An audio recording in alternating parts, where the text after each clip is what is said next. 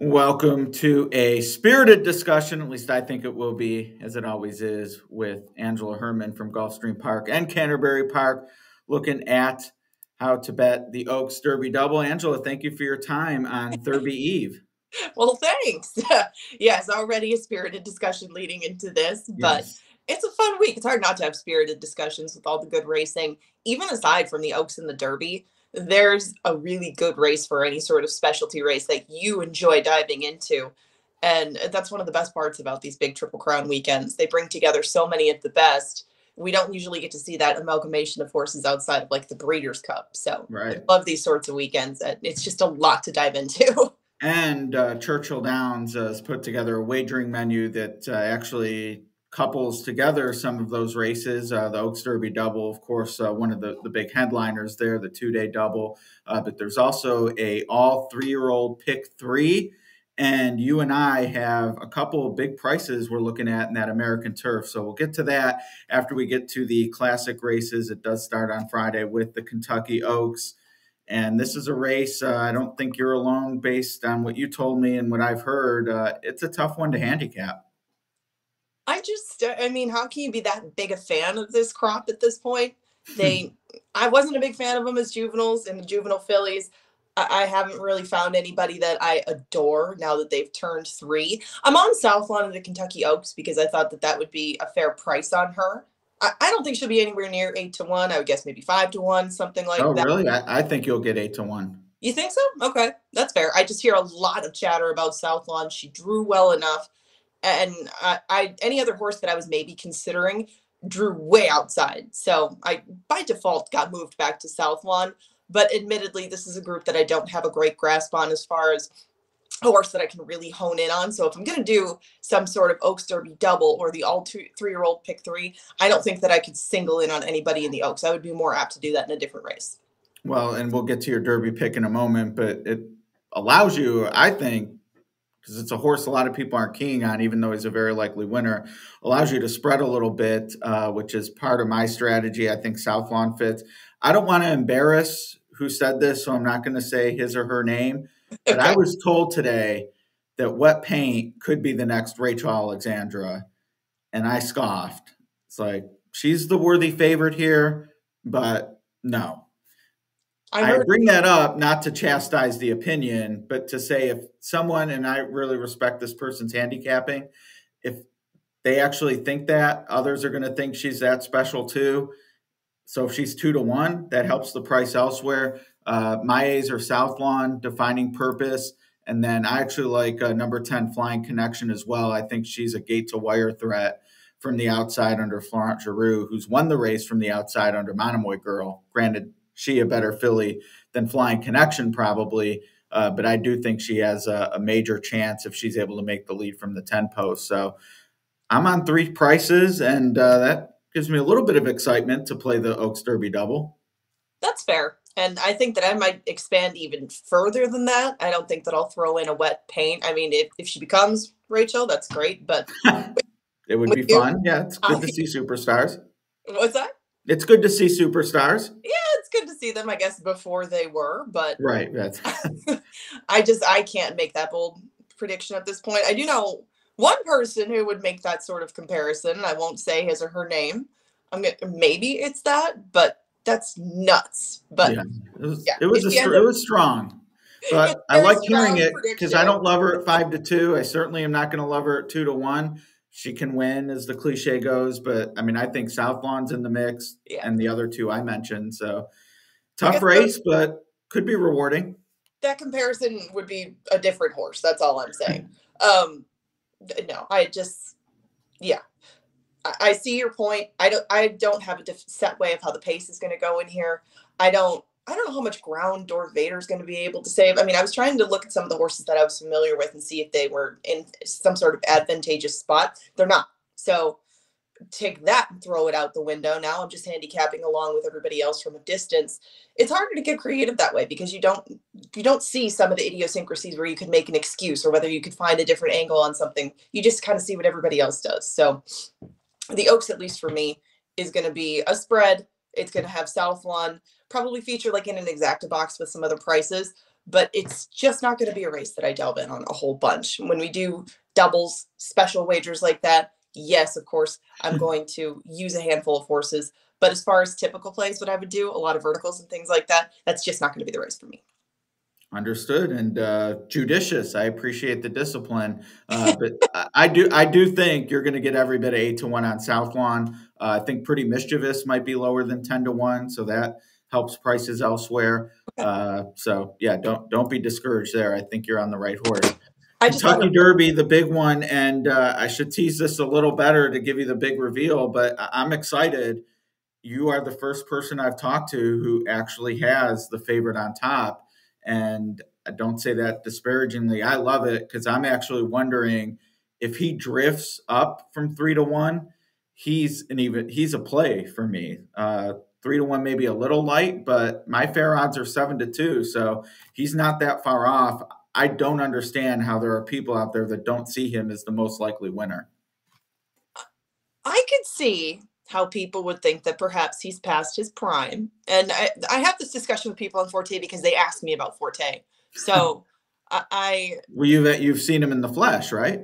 Yeah, I mean, I've been there uh, a couple of times to see him, no. and I tried to beat him before. And Forte just keeps answering the questions that I have of him, and I I don't know how many three year olds you're going to get doing that at this point in their careers. It's just it, it's tough to to arrange them in a, a, pattern where Forte falls that far behind horses that either he's beaten or don't have the credentials that he does. You do have to get very creative, and the Kentucky Derby is the race to do it. But Forte has too many of the tools that I was looking for even down the road, whether it was how he was finishing off his races, whether it was how he was handling crowds, whether it was how he was maintaining his flesh, anything like that. He he answered for me not only on the day in the Florida Derby and the Fountain of Youth, but what I would look for for a horse that still has something more to offer when they do get to Kentucky. And Forte is that he's acting like himself up there. I think that's very important with three year olds when they get into this sort of circumstance. If they can keep with themselves, put in their typical race, and handle all the minutia that comes with it. And after seeing him and after seeing some of his competition when they're either schooling, whether they're out before a race or anything like that, I think that he'll handle that sort of circumstance better than a lot of them. And drawing the 15 hole doesn't deter me at all. In fact, it sends me further in his mm-hmm. direction. So, like you said, if you get seven to two, something like that, it's more than fair on the horse that brings the most to the table on paper and with some of the intangibles. So, yes, I do have him. I I believe what did you say? I'm recalcitrant or something like that to take a favorite. I'm not usually one to settle in on this, but I've that makes it all the more uh, eye opening. What's that? That makes it all the more eye opening. Right. yeah, I, I usually try my best to try to get around. Speaking of horses you've seen, Two Phil's, and it seems like anyone who has any association with actually having seen him run is picking him. You're not, and I'm not sure the last Derby starter to have come through Canterbury, uh, if any. But regardless of what you think of him, it has to be pretty cool to know that he raced there it's easy to root for him. It's mm. the the three hole was a big drawback for me. I don't love any sort of inside draw for a horse that seems to need a little time to get rolling. He's not a small horse, but I, I can't easily as judge Two Phil's from his form last August as to how he's doing now rather than the horse right. recently. I would not be upset. I would be so happy for Jareth Loveberry. I mean, he's been through a lot to get to this point. Good guy, easy to root for as well.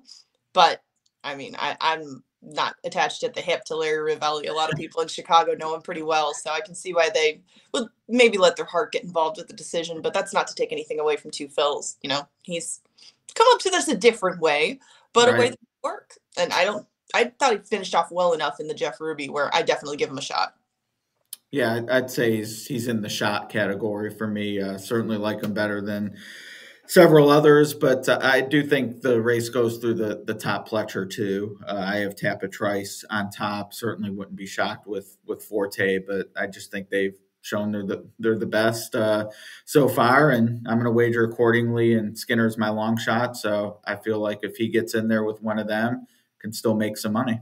He's one of mine. Yeah, I, I do like Skinner quite a bit. Skinner is starting to become one of those wise guy horses, like confidence game. So yes, well, confidence game I do not like. Me neither. No, I, I've seen that. Yes, you've made it very, very clear you are not a fan of confidence game, and that's fine. Even if it rains, nothing. Nah, the the no prep and no race beyond eight and a half. Just it's the Kentucky Derby. This is it's a crucible, ten furlongs. He's just you just can't. I just can't see it happening. Really? So he doesn't fall under A, B, C, or shot? Any of those? Any no. of those columns for ticket making? If, Nothing. If he's uh, if he's in the mix, I'm I'm out. Okay, fair enough. Yeah. I'm probably in the same boat with you, but I, I'm going to use disarm too. Not yes. because no, I'm with you there. Yeah, those are my two shots that I'm using with Forte. I feel like if you're going to settle in on a horse with Forte, you've immediately got to eliminate anybody in that B group, I guess, as far as odds go, and immediately right. go to bombs to to incorporate them into any plays. So Skinner and Disarm are the two for me that fit in that respect. I'll have to keep an eye on the board and see what's happening with Two Phil's because I just don't think he's going to make the cut for that. But I'll use him in supers and things like that and hope that the inside doesn't just become a complete pace lava fold. Uh, what's that? Fate, The pace volcano, I guess, that erupts, melts down, and goes away. But I think yeah, I think exactas, as we've talked about, are the way that I'm going to go with this. But as far as the pick three goes, I will probably stick with Forte, Disarm, and Skinner because I would I don't want to go any deeper than that using Forte. That'll be about it for me. All right. Yeah, I'm. Uh, I'm. We're pretty locked in, I would say, on on the ones. Uh, other the, the big difference is Tapit Trice for me instead of Forte. But you know, if if Skinner wins and Forte second and disarms third, I'm gonna have it. Like that's just the way I'm going to play the race. Uh, Oaks Derby double, 280 combinations. I haven't done the math in my head because it's 280 times 14, but there is an all three year old pick three, Pat Day Mile, American Turf, Kentucky Derby. And I thought I was jazzy telling you about a 15 to 1 I liked in the American Turf, and then you came over the top. You're on a 30 to 1. Let's give uh, let's give the people a bonus play here. Sure. Behind Enemy Lines is a very nice horse that's coming up from Gulfstream with a couple of other very nice ones who are going to take a lot more money. And they drew to the inside. Uh, Major Dude and Far Bridge are nice. I'm, I'm not going to disparage them at all for the races that they put in down at Gulfstream. But I don't think that the Cutler Bay is going to make a lot of replay reels or anything like that. But behind enemy lines was really impressive in there. And he was impressive overseas. If you get a look at his maiden race, I, he could have won by about 40. He just breezed by as soon as he was asked the question, really wasn't persevered with at all to get away from that group. And he backed that up with his first race in the US. Now, there wasn't a big gap. It's not like he needed a bunch of time, time to acclimatize to America. But like you and I talked about, he handled everything very much in stride. He's willing to wait behind horses. He can sit close. He just shouldn't be 30 to 1, not with not with what he's shown thus far yeah. in a big short career. I actually I'm going to write this down now because I know I'll forget when I'm scanning over. Because uh, I'm I'm a little I'm somewhat deep, uh, and it's all prices, so I'm not going to let a price you like beat me either, uh, since I'm already against the favorite. But I'm right to your inside with number five, Johannes, who I love the fact that the best race, uh, second off the layoff, two turn on the turf, first time it had ever done that and just sort of erupted in the stretch. And now we get very similar conditions here at Churchill. It's going to be a crowded field. Rispoli didn't set the world on fire when he rode here last year, but we're getting 15 to 1. We're going to get every bit of it against this group. So, uh, for those looking to, and, and, that's the beauty of, I, I think, liking a horse like Forte or Tapit Trice, you have a strong opinion in the Derby, a race everyone loves to spread, especially after last year. Oh, I caught Rich Strike with the all ball well, I'd rather this year, based on my handicapping, think maybe the prices could come in the Pat Day and the American Turf. So I'm going to be narrow in the Derby, and Johannes definitely one I'm using. I will definitely throw him in the mix. I, I didn't like the fact that those two uh, horses, the other two that I mentioned, Far Bridge and Major Dude, drew to the inside. So yeah, I'll take. No, I don't like Major Dude on the rail. I mean, I, I definitely get why he's the favorite, and uh, you know, especially if he runs well, that's probably going to get people more on the the Two Phil's bandwagon, such as it is. But I'm I'm with you. I think that's a tough draw for the top two choices. Yeah, I didn't care for it. And really, between the two, I might take Far Bridge, but it, with those two aside, I'm still going to try to see if that doesn't cost them a little bit being drawn towards the inside, and they're going to be underlaid anyway. So, I right. guess yeah, we have so many good races to work with on the card. I'm not going to overdo the Derby and overdo trying to beat Forte. I've done that before. Not doing that anymore, and just focus my uh, my plays elsewhere as far as price shopping, like you said, and just try to find one or two key horses towards the end of it that can level things out if Forte is going to be my play in the Derby. Great. Well, right. I think that sounds like a good plan. How many people show up at Canterbury on Derby Day? You know, I I haven't done a head count. I believe last year was eight thousand and thirty-one. No, I, I usually it's been so different over the last couple of years because of COVID restrictions. But yeah. uh, on a normal Derby day for simulcast, on on I don't know maybe five, three to five, but there's just been no normal day over the last right. Week. Been a so while.